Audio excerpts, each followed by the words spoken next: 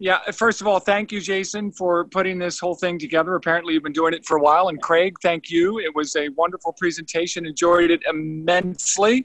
A lot of uh, new stuff that I had uh, obviously never known. I'm an 81 grad of the academy. I was surface and uh, for seven years, and then I went reserve for a, a little bit, and then uh, started a company called Team Concepts, which is a team building development company, which I've been doing for the past 25 years. So that's what I do. And what I'm hoping to do is to leverage basically all of the people on this call and everybody else is privileged to call themselves a graduate of the Naval Academy or West Point or any of the other, uh, even Air Force for that matter, and Coast Guard and so forth, to see what we can do to get through the current crisis, what it is that we need to do together, because I believe that this is an opportunity for all of us to combine and to lead the country forward. So that's what my business is, and that's what I do. Try to get people together to understand what their capability is and where we are, and to make a difference. Amen, brother. That's why we're here. that's why we're here. Absolutely. And you guys have led the way, and I congratulate you, which is why I started off with that. So we use a lot of experiential training combined with um, metaphorical and uh, classroom uh, training to get the message across. And we're all about high performance. And I'm a 1988 Olympian. I was on seven U.S. national teams before that in rowing. And so we've taken that wow. uh, academy uh, influence, which really drove everything I did, and moved forward to everything I did post graduation, including my time in the Navy and also my time rowing and so forth to get the best out of people. And that's what we're all about. And so at this point, we need it. We need you. We need, frankly, everybody on this call and everybody who's been privileged to be a graduate of one of these wonderful institutions to come together and to help people get through this. This is perhaps one of the greatest crises we've ever faced. And for a number of reasons, no matter what happens post this entire scare, as it is, it's going to be a different world. And who's going to lead it? And I'm hoping and this is why I'm on this call, that we will come together and be part of that group that leads us forward to a new era. And we want to define that. And that's what it is. And thank God for you and people like you, Jason, who have uh, brought all of us together to do this. So I've got Gibson Armstrong on this call, who's one of our uh, people who've come together in Team Concepts and also in something we're calling the Annapolis Leadership Institute. So ALI, and that's what we're trying to do is develop a leadership institute that will show the way. And that's what we're doing right now. So that's my, my pitch. There, there it is. And uh, let's rock and roll. Outstanding. Dan, uh, Dan, do you know the guys over at uh, Academy Leadership? They're also based in, uh, in Annapolis. Absolutely. Absolutely. Yeah, we yes. had, uh, uh, we had Kevin Haney on a couple of weeks ago. He was one of our uh, one of our franchisors at, at our, our franchisor Shark Tank. Uh, yeah. I thought that his thing was super interesting. As, as I, I, mentioned during the call, you know, his, his was the, it was the, it was the one uh, uh, franchise on the call where literally every single person watching him is qualified to do the job, right? I mean, we, we, it's, it's our bread and butter. Yeah, it's our bread and butter. It's what we were trained to do. Really? Yeah. I mean, not engineering, not math or science or history or whatever. We were trained to lead. And right yeah. now, we have got the opportunity, which comes along very, very rarely in history. I'm an historian. I've somehow made it through the academy as a history major. And so, so we are in a position to actually take a leadership role. And we should do that. And there's never going to be another opportunity like this, as challenging as it is. We can look at it one of two ways negative or positive. I choose to look at everything positive. So we're, we're going to come forward. And thanks to people like you, again, and Craig, who gave a wonderful presentation, we're going to go forward. We're going to kick some ass. But we need to be together in order to do that. Thank you for giving us the opportunity. Uh, Dan, you said you class of 81, right? Yes.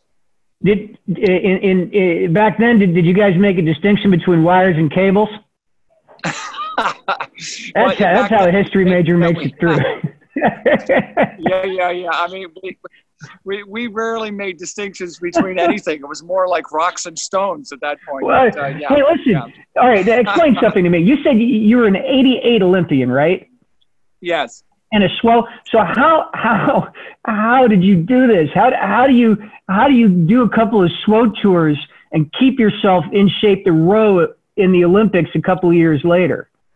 I got yelled at a lot by my ops. so you were SWO. We get that. Sure. It was like, yeah, yeah, yeah. I mean, I, I, I, was trying to do jumpies and push-ups and everything else on the uh, on the 04 deck, while my uh, my literally my ops was trying to hunt me down. So it was uh, it was difficult, but uh-huh. it uh, it, it, was fine, and I managed to get transferred uh, to training facilities with about three months to go or two months to go, and I had to work my ass off.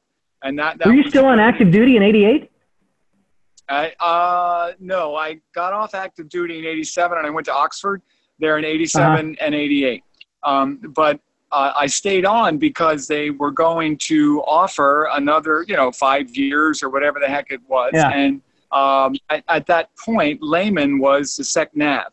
And so I was uh, getting advised by a captain. I forget actually who it was, but I shouldn't because he was an awesome man. And he called me up. We had a one on one, and he said, "Listen, if I were you, I would get out right now because Lehman's not going to be around for very long." And in fact, four months later, he was replaced and uh, by Webb. And Webb was a different kind of guy, and that was when he uh, curtailed David Robinson and Napoleon McCallum and so forth and so on. But by that point, I was at Oxford and I was out, so I was able to um, do what I wanted to do. But I'll tell you, the Navy was very, very good to me. There's no question. They gave me every opportunity to be great, and I took advantage of it. All right, so you guys forgive me because we're technically we're in our open discussion period, but I think we just started it with the intros this time. Uh, Dan, when it so when you go to the 88 Olympics, at what point do you discover that you're sort of in the pipeline, that, that you're uh, at least in the running to go there? And when, when do you when, when does that happen?